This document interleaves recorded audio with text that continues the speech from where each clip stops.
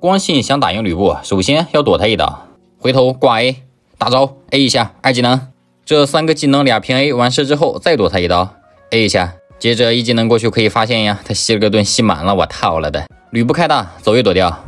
买把陨星，A 一下一技能穿过去，再一下二技能，二技能，二技能，二技能，A 一下一技能拉开，再躲一道，他这个闪现也没中，就这我还要交闪才能杀他，但杀了吕布我没有丝毫的喜悦，我我好难过呀，我好瓜呀，这主要是归功于这个反甲知道吧？有的时候这个反甲奶奶的我真的是受不了的，橘子开大，牛魔开大，女娲一二技能不要慌啊，都打不到我，回头拉视野，回来一看，妈的名刀没了，我操！清个线啊，先清线。这女娲还飞下来了，她现在手里是有一二技能的，再给她躲掉。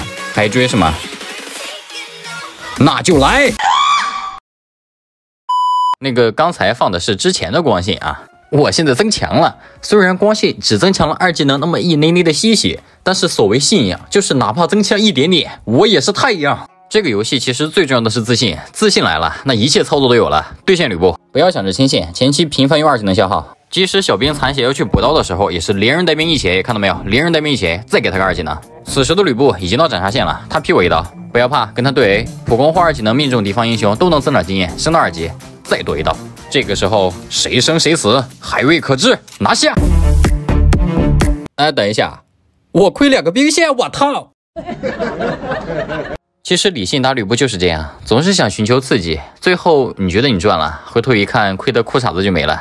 这吕布就像那老渣男一样，知道吗？要远离吕布，拿下吕布人头，和男朋友分享兵线。哎，我操！我又亏两个兵，真的服了，又亏两个兵线，男朋友啊也死了。我和你飞到蓝蓝的天边。四级了，我要正式对线吕布了，注意跟他拉开身位，劈中一刀就打不了，极限距离磨他的血线，知道吗，兄弟们？没办法，吕布只能这样打。我之前对线过一个最离谱的吕布，三分钟给我出了五个不假。跟吕布保持距离，如果他想顶着你的伤害过来劈你，立刻一技能拉开，看到了没有？就这样拉扯，我会用实践告诉你，这拉扯根本是没有用的啊！吕布他随便搞搞就满血了，那为什么还要拉扯呢？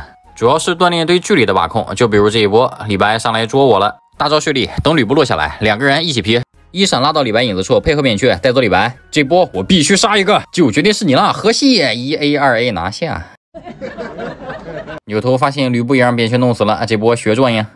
等吕布再次回到线上的时候啊，先奖励他一套三二二。这一套并不能给吕布造成什么实质性的威胁，但可以为我们提供血量上的优势。很多新手朋友玩李信都舍不得开大，这怎么能行呢？大招有就得放。你看我大招起手，吕布还一个盾把血条吸满了呢。这你要是不舍得用大招抽他，这得刮到什么时候？但是跟吕布对线的时候要时刻注意小地图啊！吕布他大招能跑，我可跑不掉。一旦敌方中野消失，我们要立刻撤退。但好在这波是我们家中野上来了，这老吕布还没意识到事情的严重性呢，殊不知他马上就要死了。快快快！男朋友弄他弄他，越塔越塔越塔越塔！哎呀，这死妈一来了，还大闪！哎哎，我不是吧？我真的服了，有必要吗？你太卑鄙了！问题不大，兄弟们，这把在我的带领下，那纯纯的顺风。你这战绩都没打正，还顺风呢？哎，话不能这么说，我身为一个主要输出型的英雄，却扛下了大部分的伤害，这难道不是作用吗？注意这个吕布丝血了，我直接封走位，你奶奶的，你丝血还闪现过去？对面这帮人一个个的真抽象啊！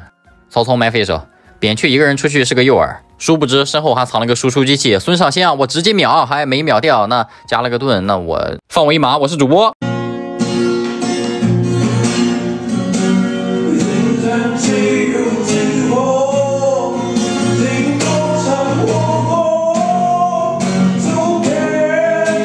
个司马懿，我真的服了！